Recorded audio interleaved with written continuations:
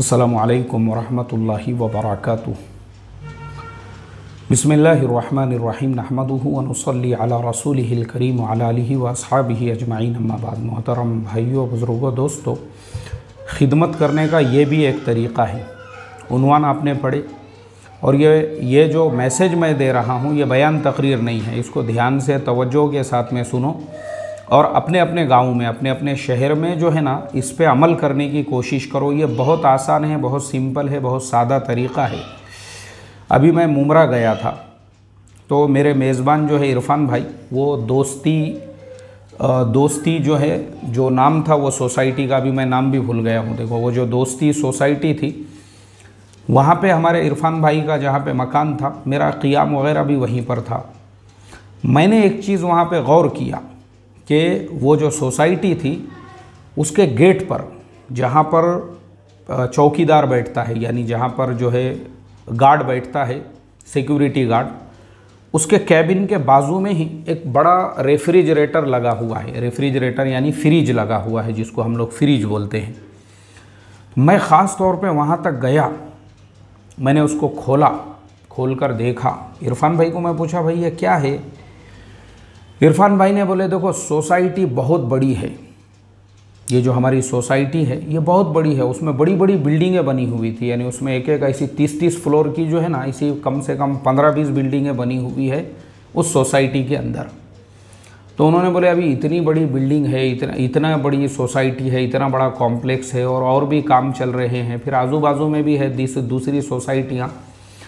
तो ये सोसाइटीज़ के अंदर अगर किसी के घर में खाना ज़्यादा पक जाता है। बाज़ अवकात होता है। घर में पंद्रह बीस मेहमानों को दावत दे दी जाती है और कैटरर को ऑर्डर दे देते, भाई, तीन किलो बिरयानी लेके आ जाओ। अब उसने लेके आए और मेहमान आए ही नहीं।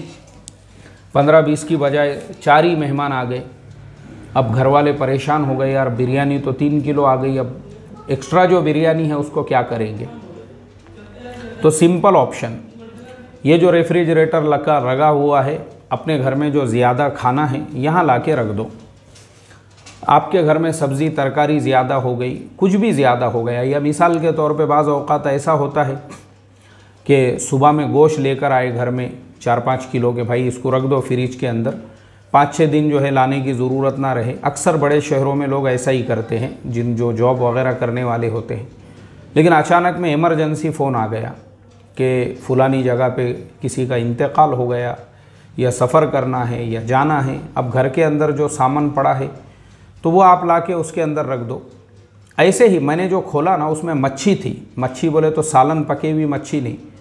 प्रॉपर जो मछली होती है, फ़िश होती है, जो दुकान से ख़रीदी हुई, वो प्रॉपर ऐसी पैक की हुई, उसका पूरा पैकेट रखा हुआ था।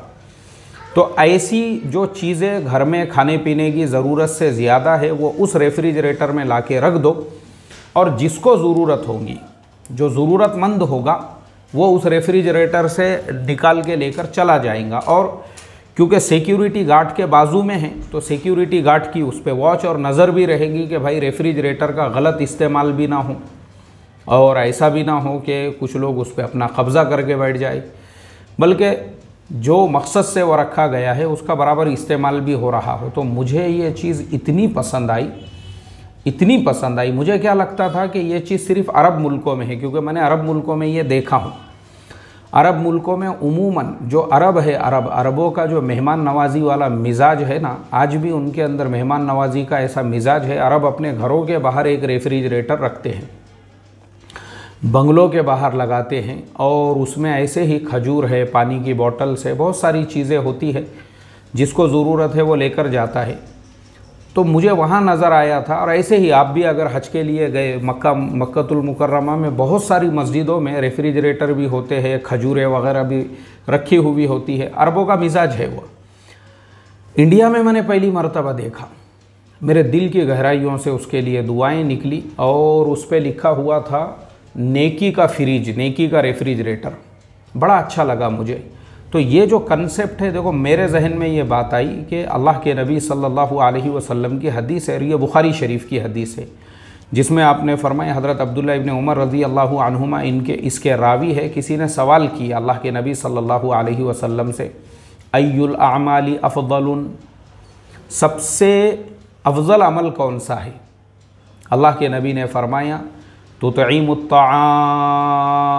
लोगों को खाना खिलाओ व तकरसलाम और सलाम करो। आलामन अरफ्ता व मल्लम तारीफ़ जिसको जानते हो और जिसको नहीं जानते हो। सबको सलाम करो। ऐसा नहीं है कि साड़ू पहचानत वाला है तो उसको सलाम कर रहे और बाकी लोगों को नहीं। ऐसा नहीं। सबको सलाम करो। तो ये जो चीज़ है, ये उसके ऊपर अमल है कि गरीबों को खाना। अपने घर में ज़्यादा है, वो वहाँ ला के रख दो। रोटियाँ ज़्यादा है, जो भी बच गया, वो ला के रख दो, जिसको ज़रूरत होगी वो वहाँ से लेकर जाएगा। इतना बेहतरीन कंसेप्ट है, खिदमत करने का ये भी एक तरीक़ा है।